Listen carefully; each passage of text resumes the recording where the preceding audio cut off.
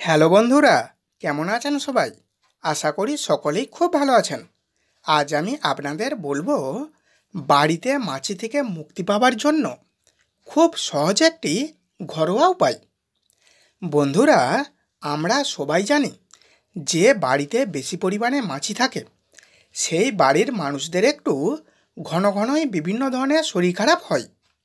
যেমন হঠাৎ পেটের যন্ত্রণা, পেটে ব্যথা পাতলা পায়খানা, বমি হওয়া ইত্যাদি। আসলে মাছি বিভিন্ন নোংরা জিনিসের উপর যখন বসে, তখন মাছির শরীরে বা হাতে পায়ে সেই সমস্ত নোংরা জীবাণু লেগে যায়।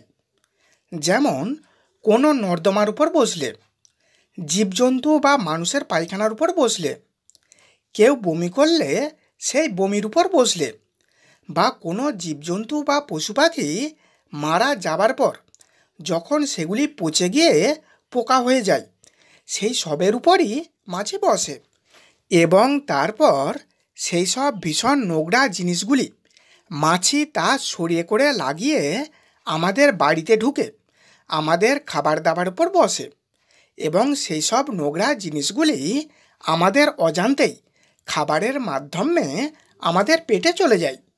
আর তখনই দেখা যায়, হঠাৎ শরীর খারাপ। তাই আজ আমি আপনাদের সবার বাসাকে সম্পূর্ণভাবে মাছিমুক্ত রাখার জন্য খুব সহজ একটি ঘরোয়া উপায় দেখাবো। যেটির ব্যবহারে আপনার বাড়িতে আর একটিও মাছি থাকবে না। চলুন তাহলে আর দেরি না করে এখনই ঝটপট জেনে নিই কীভাবে ঘরোয়া উপায়ে নিজের বাসাকে সম্পূর্ণভাবে মাছিমুক্ত রাখা যায়। আর আপনি যদি আমাদের চ্যানেলটি এখনও সাবস্ক্রাইব করেননি, তাহলে প্রথমে চ্যানেলটিকে সাবস্ক্রাইব করে তারপর পাশের বেল বা ঘন্টাটি অন করে রাখুন। কারণ তার ফলে পরবর্তী দিন আমরা যখনই নতুন একটি ভিডিও আপলোড করব, সেই ভিডিওটি সবার প্রথম পৌঁছে যাবে আপনার কাছে।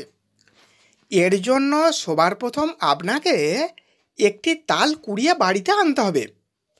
যেহেতু এখন তালের সময়, তাই খুব সহজেই আপনি মাঠের ধারে বা পুকুর পাড় থেকে একটি তাল পেয়ে যাবেন।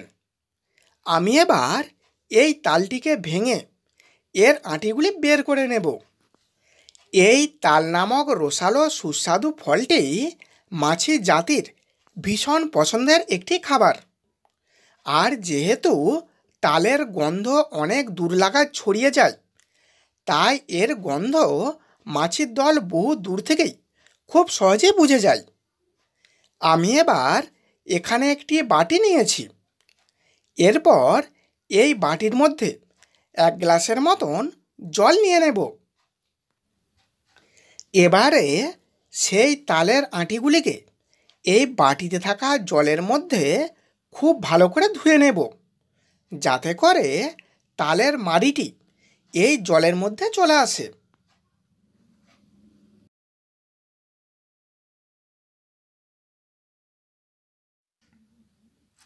এখন এখানে তালের আঁটি থেকে তালমারিটি বের করা হয়ে গেছে।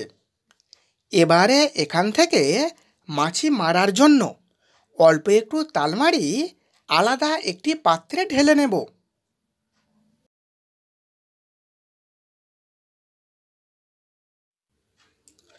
এরপর এখানে প্রয়োজন বোরিক অ্যাসিড। এটি আপনি বাজারে ঔষধের দোকানে বা হার্ডওয়ার্স দোকানে পেয়ে যাবেন।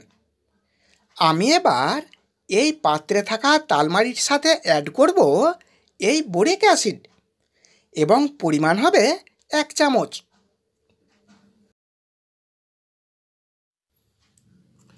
এরপর এই জিনিসগুলিকে খুব ভালো করে একে অপরের সাথে মিশিয়ে নেব।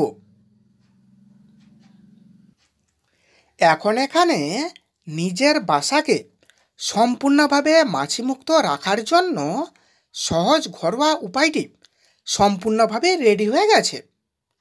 এবার এটিকে বাড়ির এমন কোনো জায়গাতে রেখে দিন, যেখানে অনেক অনেক মাছি রয়েছে। এটি রাখার সাথে সাথেই বাড়ির সমস্ত মাছি এটির উপর আকর্ষিত হবে এবং মহা আনন্দে এটি খেতে শুরু করবে। এবং একদিনের মধ্যেই আপনার বাসা সম্পূর্ণভাবে মাছিমুক্ত হয়ে যাবে।